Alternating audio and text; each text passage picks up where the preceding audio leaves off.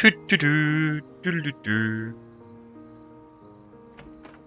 Und wir müssen auch noch immer das Alter herausfinden. Das weiß ich nämlich immer noch nicht. Ich schätze, irgendwas über 18 muss es ja eigentlich sein.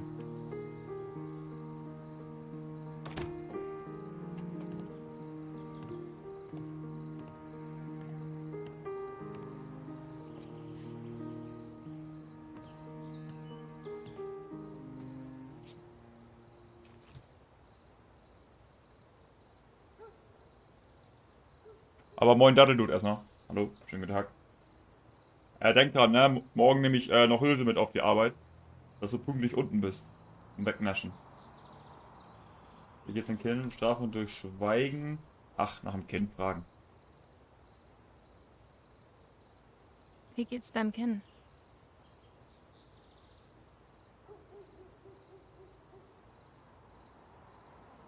Tut es sehr weh? Ob das jetzt so schlimm war. Hör mal, Gabe, es tut mir wirklich so leid.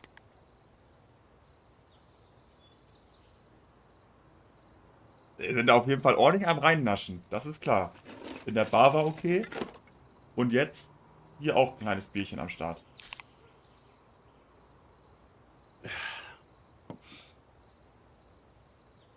Was? Ich. Auch so. Stellt Bier hin.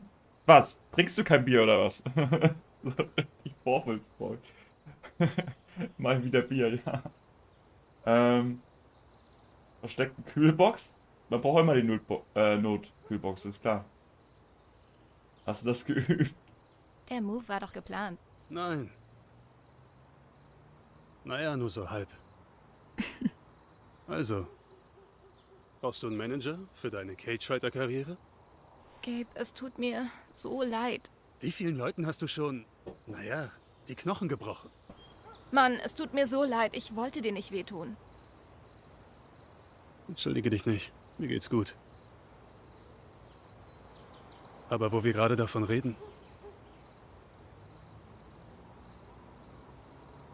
mir war nie klar, Dass ich verrückt bin? Dass ich dir den Arsch treten kann?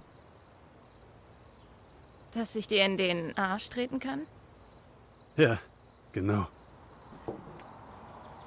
Mir war nie klar, wie dein Leben ausgesehen haben muss. So ganz allein. Muss man sich halt durchboxen, wa? War schon okay. Als ich dich von Mac weggezogen habe, du mich geschlagen hast, war ich wütend. Aber wie du ihn auseinandergenommen hast, hast du schon mal gemacht.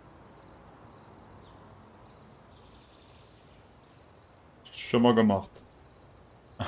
Alleine gefühlt geht das Game um Bier. Ja, es sollte so Life is Strange ähm, True, True Beers heißen oder so. True Beer. äh, ich habe mich auch geprügelt. Warst du nicht im Jugendgefängnis? Ah, komm. Kinder in Heimen prügeln sich. Oft. Ich habe gelernt, mich zu verteidigen. Scheint so.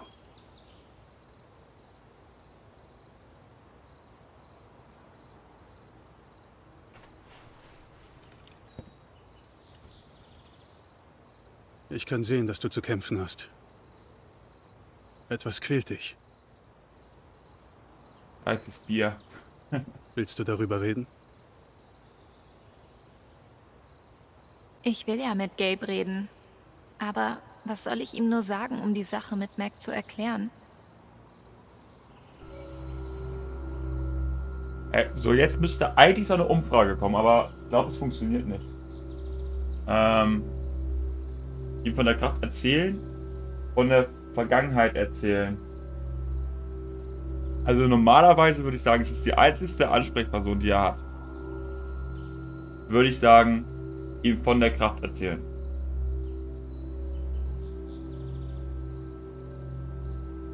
Äh, klappt nicht. Hm, naja, gut. Muss ich nochmal schauen, ob das irgendwie, wie das geht, aber. Ja, ich würde auch sagen. Also im Film, sag ich euch ehrlich, im Film wäre das jetzt nicht so. da würde jetzt ähm, äh, erstmal ähm, so bis zum Ende das irgendwie immer vertuscht werden und ganz zum Ende kommt es dann irgendwie aus Versehen raus. So wäre das im Film. Hallo.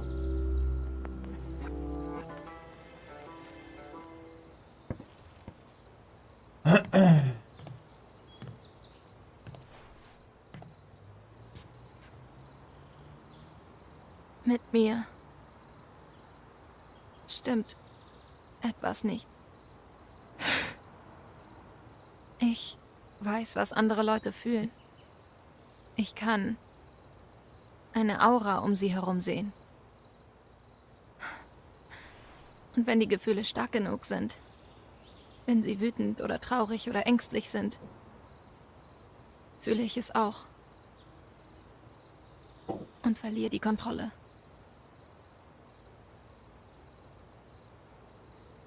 Und das passiert. Schon sehr lange. Wie bei Mac. Ich spürte all die Wut, als wäre es meine. Ich denke, dass Max Wut recht offensichtlich war. Dahinter steckt mehr.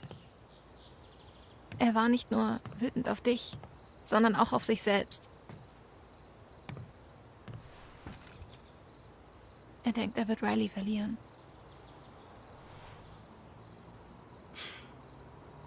Hast du das von Riley? Darauf ein Bier. Ja, definitiv. Sollte mir vielleicht auch gleich erstmal eins holen. Huni, mal eine Frage. Hau raus. Nein, ich fühle es nicht. Alter, wann? Was wollen wir nehmen? Ah, ich wollte sagen das. Nein, niemand hat's mir erzählt. Ich fühl's.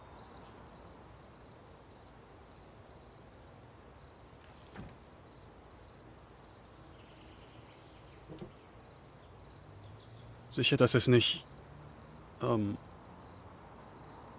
Es ist nicht nur in meinem Kopf, Gabe. Versprochen. Es liegt nicht an Stress, Medikamenten, Trauma oder sonst was. Es ist real.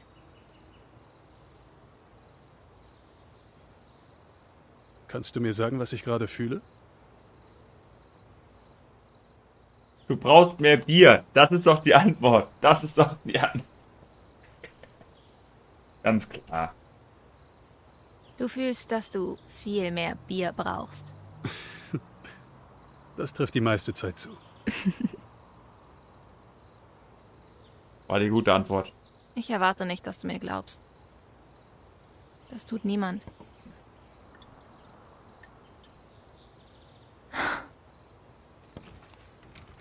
Du fühlst also wirklich, was andere Leute fühlen? Ja? Du, du gehst sozusagen in ihr Herz. Ich denke schon. Alter, du hast Superkräfte.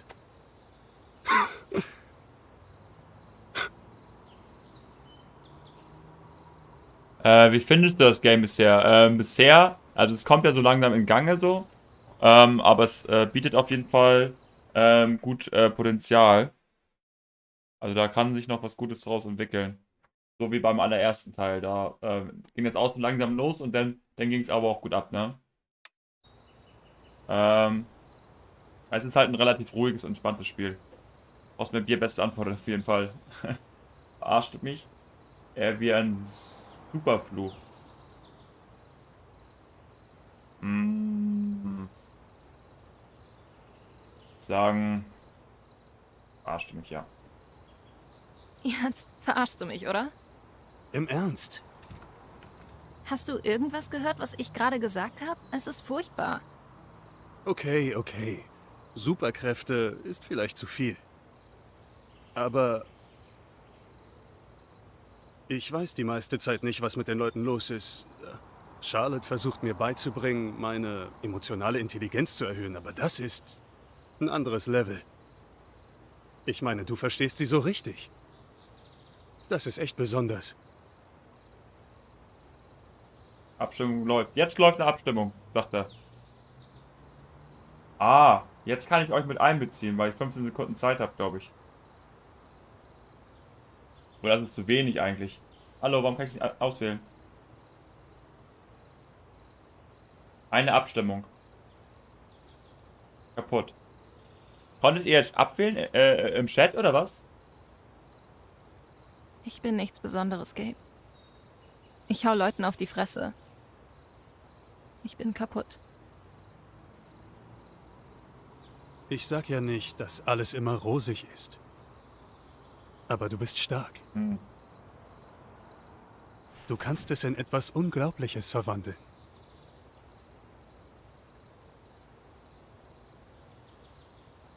Aber es ist egal, was passiert. Ich bin für dich da. Vergiss das nicht. Brauchen wir noch mal ein bisschen länger.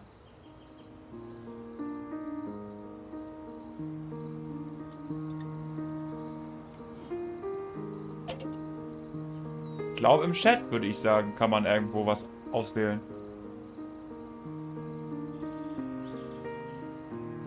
Also, wann wolltest du mir von der Gitarre erzählen? Oh shit, du hast sie gefunden. Sollte eine riesige Überraschung werden. Überraschung?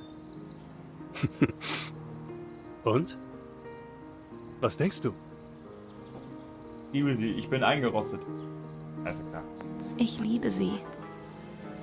Vielen Dank, wirklich. Bei Kein mir Ding. war nichts. Hm, okay. Willkommen daheim. Muss gleich mal selber in Zuschauermodus gehen über zweiten Account. Vielleicht sehe ich da was. Oh hey, was ist los? Hey, ist Ethan hier? Nein, er wollte nach Haus. Das war er, aber ich kann ihn nicht finden. Oh, er sollte doch nicht rumstreunern. Ich suche ihn. Gabe, warte. Vorhin, da habe ich mit Ethan gesprochen.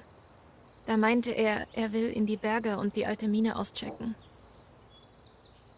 Was? Warum hast du nichts gesagt? Tut mir leid. Wenn er wirklich da oben ist, müssen wir uns beeilen. Das habe ich Los. wirklich die Okay, ganze. Zeit gesagt, dass das irgendwann noch Probleme macht. Dass er da oben ist. Habe ich die ganze Zeit gesagt.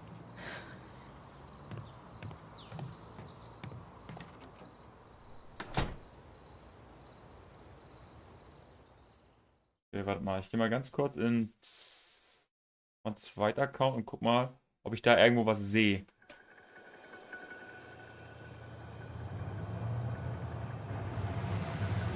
Da irgendwo was sehe, wo ihr, wo ihr raufgehen müsstet.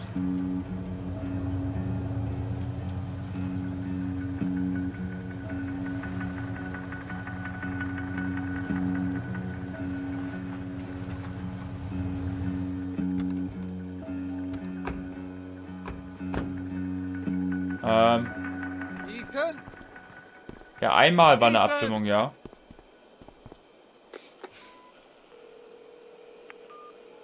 Komm schon, geh ran, geh ran.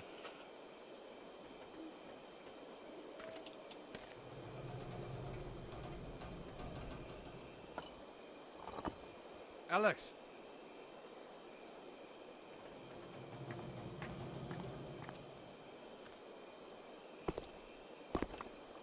Hier lang.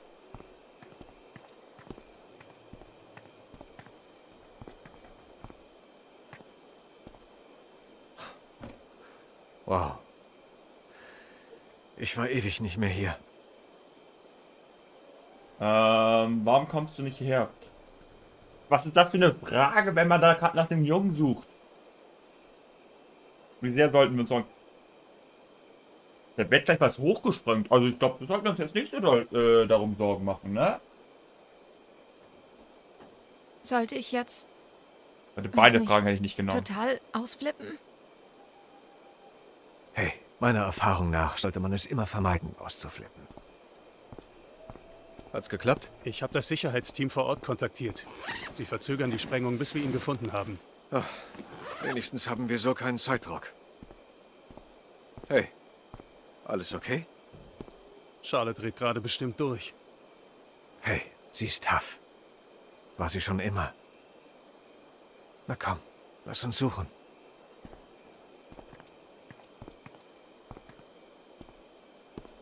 Dieser Bengel.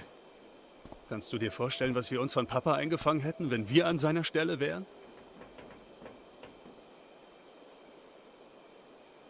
Ich hätte was sagen sollen. Viel früher. Tut mir leid. Als er sagte, er will zur alten Mine, da dachte ich... Alex, es ist okay. Woher solltest du es wissen? Ist nicht deine Schuld. Ja. Aber dennoch. Ich werde mich umsehen. Sagt Bescheid, wenn ihr etwas findet, okay? Klar. Ich schau mich um. Ich frag mich, wie Ethan in die Mine kommen Telefon. wollte. Ich habe am Erstmal- ersten Tag einen Job an Land gezogen. Erstmal die Mail checken. noch zu retten. Wir freuen uns eine neue Ergänzung für unsere Angestellten in der Black La Lat La La Lantern. La Schreibe ich das aus? Ja, ne? Vorzustellen. Wir sind froh, dass du hier bist, Alex. Vielleicht kannst du sogar Gabe ein oder zwei Sachen beibringen. Hey, sie könnte mir wesentlich mehr als zwei Sachen beibringen. Ja, na. Sie hat sogar Sinn für Humor. Bin froh, dass du endlich hier bist, Alex. Ach, das war ja der, der komische Polizist. Der war auch ein bisschen weird, fand ich. Aber naja. Hm. Oh, guck mal, Kevin hat was herausgefunden, wie man das so macht. Ähm, also installiert und äh, verbunden habe ich das auch alles. Scheint ja auch irgendwie zu funktionieren. Wir gucken mal, ob das gleich. Ducky, Alter.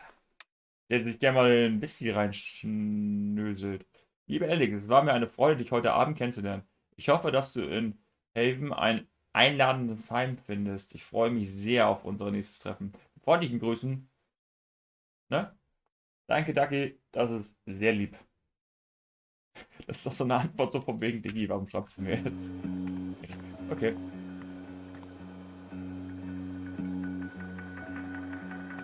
Detail für Zuschauer kann eher interessant sein. Ja, aber meinst du, dass Zuschauer was installieren müssen? Ja, genau. Eine Minute sollte ja lang. Ja, wir müssen ja auch jetzt ein bisschen rumgucken. Vor der Tür. Cool. Eine Mörderscheune. Wo es eine Vordertür gibt, gibt es ja auch noch eine Hintertür. Ach, wirklich? Dieses Gelände, Privatgrundstück der ähm, Gesellschaft autorisiert. Das hätte man sich jetzt ersparen können, dass man das sich angucken kann. Äh, Sicherheitsposter. Nein, nein. Wir müssen uns Nein. erstmal vertraut machen mit der Materie, ist das klar? Und nochmals nein. Habt ihr ja das.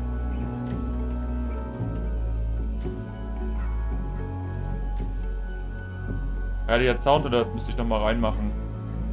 Mach ich gleich mal rein. Weil ich damit sie die es nicht das Spiel stören. Ja, also würde jetzt nicht so stören, aber meistens verbacken die immer, darauf habe ich immer keinen Bock. So, wir lesen mal. Arbeitsstiefel mit Stahlkappen habe ich sogar auch am Start.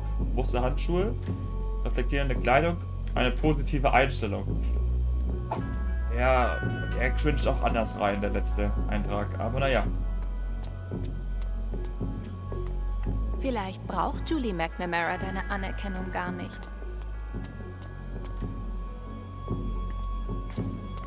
Hey, Bro. Lass uns bei der alten Mine die Kante geben. Ist vom Ding her jetzt nichts verwerflich dran.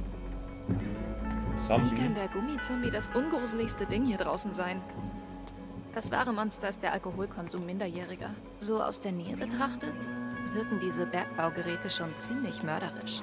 Alkohol von Minderjährigen. Ich weiß halt immer noch nicht, wie alt sie ist, ne? Ähm, auf rauf, rauf, rauf, einfach die Treppe rauf.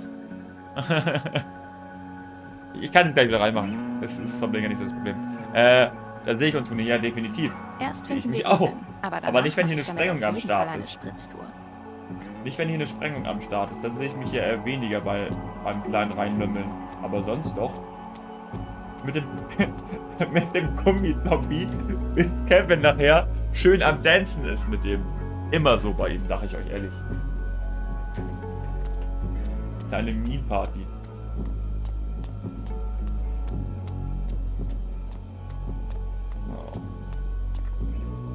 Sieht ganz schön mitgenommen aus.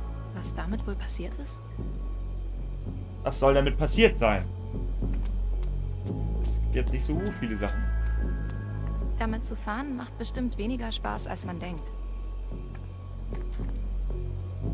Ja, es ist natürlich bei den Dingern, wenn du damit fährst, ist halt komplett ohne Federung. Ich glaube, das, das kann schon gut wehtun. Aber Ich vom Ding her sehe ich mich da halt auch. Ne? Alter Eingang. Hier hat er denn ja den. Er hat ja irgendwo einen Wow. Geheimeingang gefunden. Sobald Ethan in Sicherheit ist, stoße ich auch mit an. Was denn hier? Wir trinken auf das Wohl von Jet Luken, der uns hier am 13. Dezember 2008 aus der Höhle gezogen hat. Stoße ich aber auch mit an. Stell dir vor, du sitzt da unten fest. Nein, warte. Tu's lieber nicht. Ähm, Thomas, äh, was spielst du? Ähm, ich spiele Life is Strange. Ähm, äh, das ist der dritte Teil von der Serie. Und jedes Mal hast du, bist du ein Charakter, der eine gew- gewisse Fähigkeit hat. In dem Teil ist es uns möglich, äh, die Gefühlslage anderer zu erkennen und daraus ähm, Schlüsse zu ziehen. Und ähm, ja, jetzt im Moment suchen wir gerade einen kleinen Lümmel, der dachte, oh, ich gehe mal bei Nacht kurz vor der Sprengung in so eine Mine und erkunde sie, weil ich eine Geheimtür entdeckt habe. Jetzt habe ich zum Beispiel hier. Alex, warum? Warum hast du nicht? Es bringt nichts, irgendwem die Schuld zu geben. Wir müssen ihn einfach finden. Schnell. Er hat recht. Alles, was Ah. zählt, ist Ethan zu finden.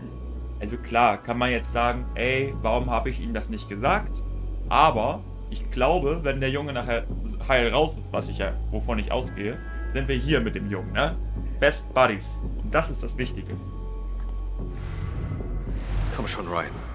Alle verlassen sich auf dich. Ryan lässt sich von seiner Angst nicht aufhalten. Ich bin froh, dass er hier ist. So, jetzt aber rein da mal. Stell dir vor, du sitzt da unten fest. Nein, warte. Tu's lieber So, nicht.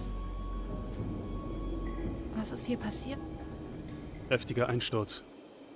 Eingeschlossene Bergarbeiter. Wären fast gestorben. Jet führte alle wieder an die Oberfläche. Gott. Ja, und Vorarbeiter Jet wurde zum örtlichen Helden Jet.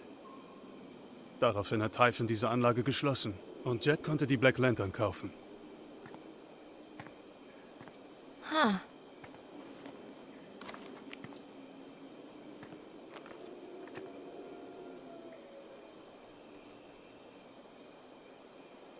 Ah, Dasselbe dieses Comic. Symbol. Dient dieser Ort als Grundlage für Ethans Comic? Ah. Fivehead. Der Junge ist ja ein Fivehead. Hätte ich mir den doch mal durchgelesen und nicht kurz vorher abgebrochen. Ähm, hab Life is Strange noch nie so gefühlt. Vielleicht ja der Teil. Ist halt ein bisschen ruhiger. Ist, ist gebe ich zu. Aber, keine Ahnung, ich finde das irgendwie mal ganz spannend. Warum hast du es ihm nicht gesagt? Sicherheit ist wichtig. Äh, ist ihm wichtiger. Ähm, ja, wie gesagt, ich wollte so Freundschaftsbasis mit ihm aufbauen irgendwie. Und ich glaube, das schaffen wir. So. Da ist jetzt ein bisschen Dreck am Stecken, so mäßig. Aber das wird noch. Wir kriegen den da ja raus, den Jungen.